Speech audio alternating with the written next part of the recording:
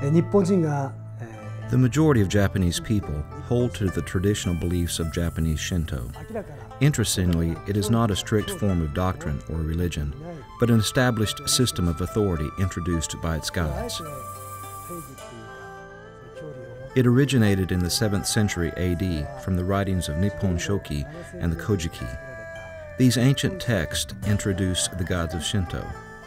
This period also saw the introduction of the emperor family, its ultimate authority. Even though the gods and royalty introduced in these foundational Shinto texts are considered to be the official Shinto gods of the Japanese, there are countless numbers of gods in this religion. Japanese Shinto is very animistic and often looks to nature for its gods the mountain god, the river god, the sea god, and many other elements of nature are deitized. These are the types of gods the Japanese people are accustomed to and lift up as deity to be worshipped.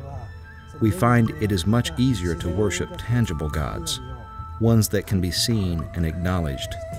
This is what comes most natural to us in our culture.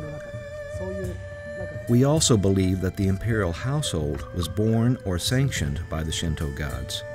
This is where it gets its authority and is thus deitized and reverenced by the Japanese people.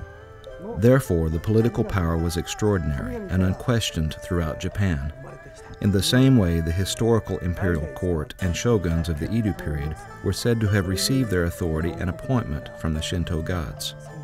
It was during this time that Japan is said to have become a country, unified through its unanimous recognition of Shinto origins a true Shinto nation. Actually, I used to be a devoted follower of Shinto. I worshipped the sun goddess, Amaterasu Omikami, as God and Lord of my life. I also acknowledged the blue dragon god, Sadayūjin as my guardian deity. I believed that I received great power from these gods. I was young and used this to my perceived advantage. I was into all kinds of wickedness, empowered by my Shinto gods. This was the kind of person I was before coming to know Christ. My older sister gave me a Bible. As I began to read it, a particular passage in John penetrated my heart. Christ said, I am the way, the truth, and the life. It was then that I began to acknowledge Jesus Christ as God.